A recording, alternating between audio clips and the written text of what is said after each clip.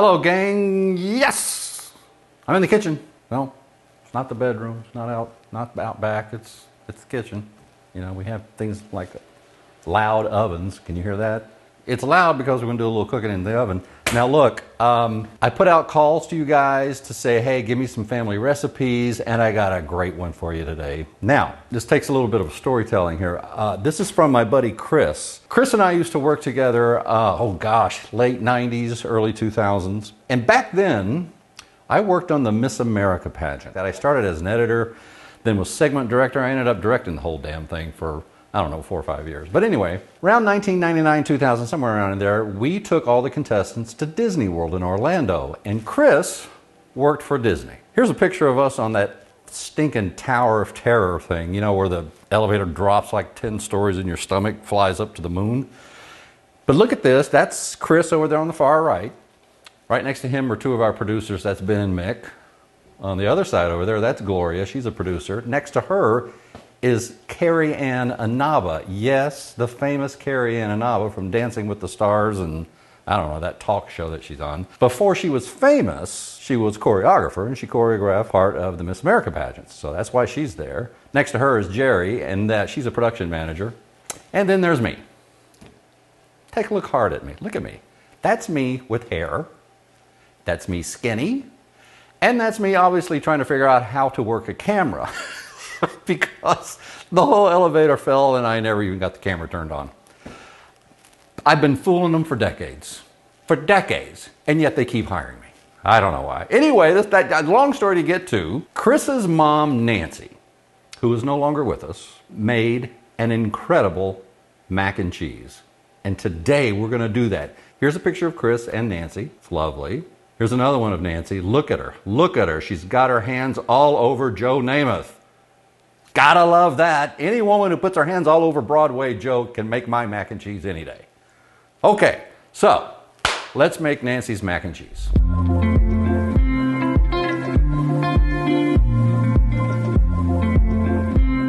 Okay, we're back. So we got you. I just asked my assistant Brianna, who's in her mid 20s, do you know who Joe Namath is? She goes, no. Really? Really? All right. Now, Nancy went rogue with this one. Normally, you know, you, you put your elbow macaroni and you, you put it in there like pasta and, and, and water, and then you make your cheese sauce, and then you marry them together. None of that stuff for Nancy. She threw it all in a blender. Yes, a blender. Unbelievable. I'm telling you, I'm liking Nancy. We're going to start with two cups of milk. So we'll put her right in here. And we're going to get a couple of tablespoons of butter right in the pool. And here's another weird one, Nancy. Cottage cheese. We're gonna take it right out of the old tub here. We're gonna put in a cup right into the pool. I have never heard of cottage cheese and something like this, so this will be interesting. But I'm excited about it. So the recipe calls for one pound of sharp cheddar, and these are eight ounce slabs. But I'm going to reserve half of this to shred and put on top at the end because we want that nice cheese top on the mac and cheese. Anyway, so let's just cut these up into chunks and throw them in the blender. Okay, into the pool.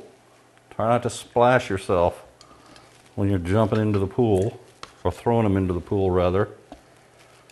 There we go. Okay, Time to blend this bad boy.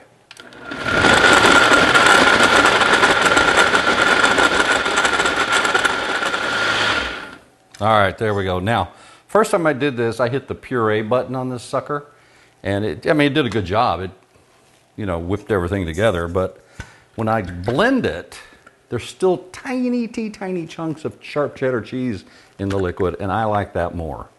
So we're just gonna pour it in right here. There you go. So you can kind of see the chunks of cheese that are in it. Well, not chunks, just little, little itty bitty pieces of the sharp cheddar in with the mixture.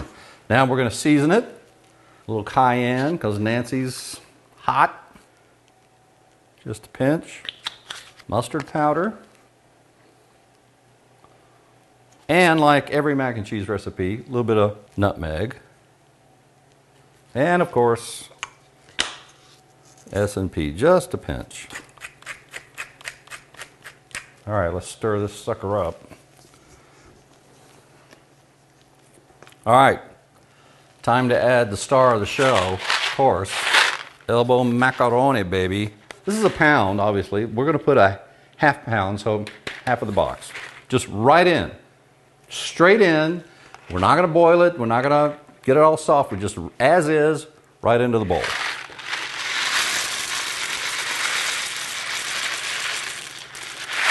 That's about half right there. And we'll just mix it in just like this. Okay, so got my Pyrex casserole dish, whatever you call this thing. And yes, I uh, greased the bottom so nothing will stick. And we're just going to pour our lovely mac and cheese concoction right in, just like that. Then just kind of make sure it's all spread around. And then we're going to cover it nice and tight, just like that. And then into the oven, 375 for 30 minutes.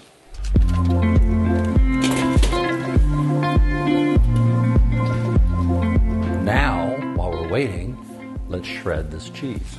If you guys don't have one of these, you can wear it as a hat. Uh, if you don't have one of these, these are great because you can shred any size, obviously, and then you can put it down right in the bowl just like that, shred away, and then when you pop it up, there's the cheese.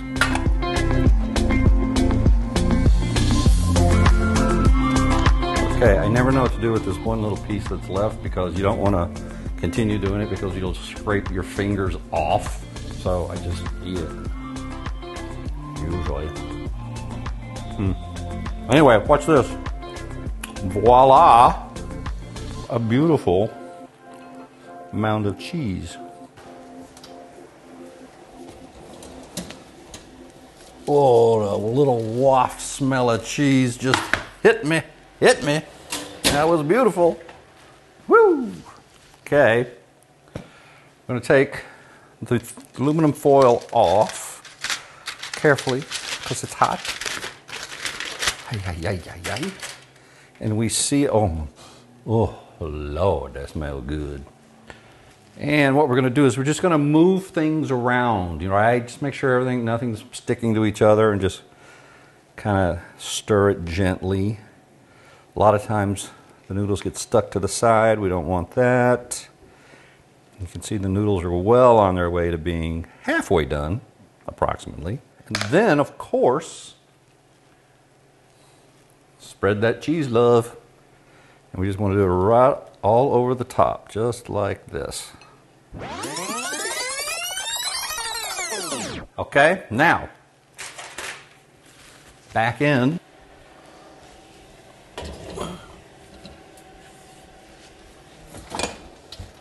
Okay, so it's been another 30 minutes. I just peeked at it. It looks amazing. Let's get it. Here we go.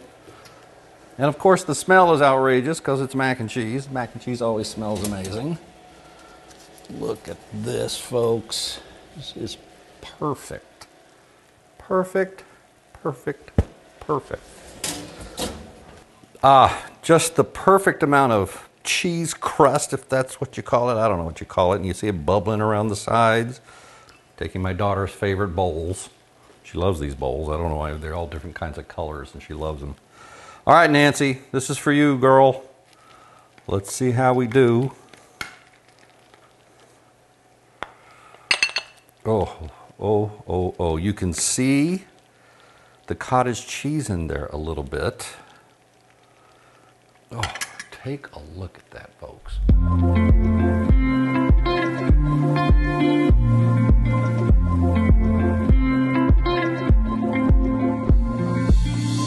Nancy knew what she was doing. Now, for Nancy and all her family. To you, Chris.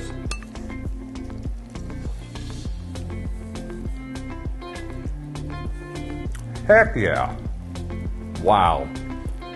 Look, I'm just telling you right now, last week we tried this out, me and my wife, and we sat here and we ate the whole darn thing. like the entire bowl. Because it's just so good. Comfort food galore. And you saw how easy it was to make. Throw it all in the blender, mix it all up, put it in the oven, and you, one hour later you're good. This is delicious. Oh, just spank me now and put me to bed. Wow. All right. I'm going to cheese my way out of here. Please hit the subscribe button. You know what to do. Turn on your notifications and send me more family recipes because this is about love, right? Nancy made this with love.